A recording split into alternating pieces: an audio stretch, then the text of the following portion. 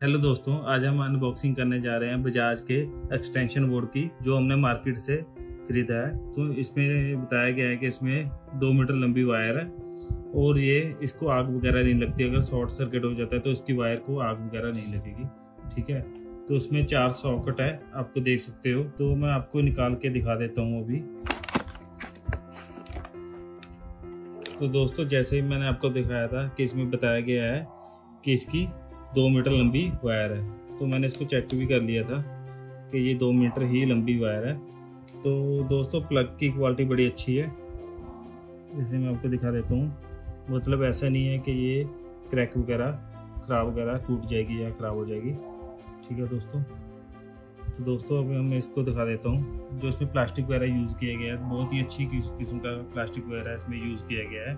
तो यहाँ पे इसकी बजाज की ब्रांडिंग है, आपको दिखा देता हूँ। है दोस्तों तो एक यहाँ पे स्विच है, जिससे हम इसको ऑन या ऑफ़ कर सकते हैं। और इसके ऊपर एक लाइट दी गई है, जो रेड कलर में जगती है जब ये ऑन होता है। ठीक है दोस्तों? तो ये स्विच के बारे में आपको बताता हूँ। स्विच बड़ा स्मूथ है। मतलब ऐसे नहीं है कि जल्दी से जल्दी ये ख़राब हो जाएगा। ये आपका ख़राब होने वाला नहीं है। बाकी आपको बजाज का तो पता ही होगा कि ब्रांड बड़ा अच्छा ब्रांड है। तो दोस्तों, ये इसकी बैक साइड है।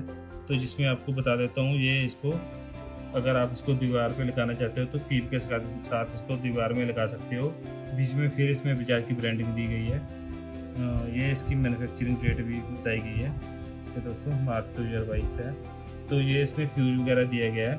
अगर आपका ज़्यादा वोल्टेज आ जाती है तो ये आपका जो भी आपने चार्जर वगैरह, जो भी इसमें एक्सटेंशन अप्लाइंसेस जो भी लगा रखा हो तो वो ख़राब नहीं होगा ठीक है दोस्तों, ये फ्यूज़ ख़राब हो जाएगा, उड़ जाएगा तो आप दस या बीस रुपये का मार्केट से मिल जाता है तो वहाँ से लेकर इसमें दोबारा डाल सकते हैं। मतलब आपके कोई भी, जो भी आपका अप्लाइंसेस होगा, उसका कोई भी नुकसान नहीं होगा।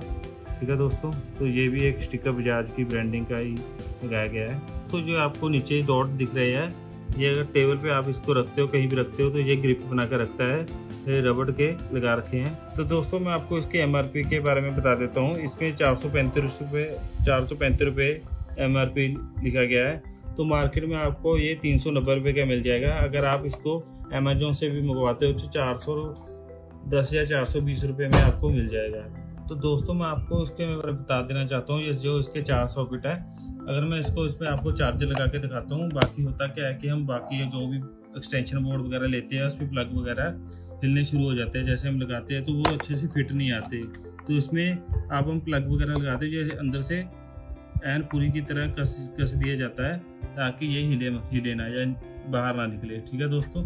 तो इसके लिए ये प्लस पॉइंट है इसका। ठीक है दोस्तों? तो आपको ये यूनिवर्सल प्लग है।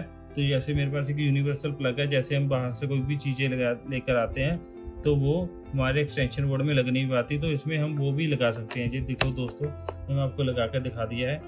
तो ठीक है दोस्तों, अगर आप भी कोई एक्सटेंशन बोर्ड लेना चाहते हो तो आप ज़रूर बजाज का ही लीजिए।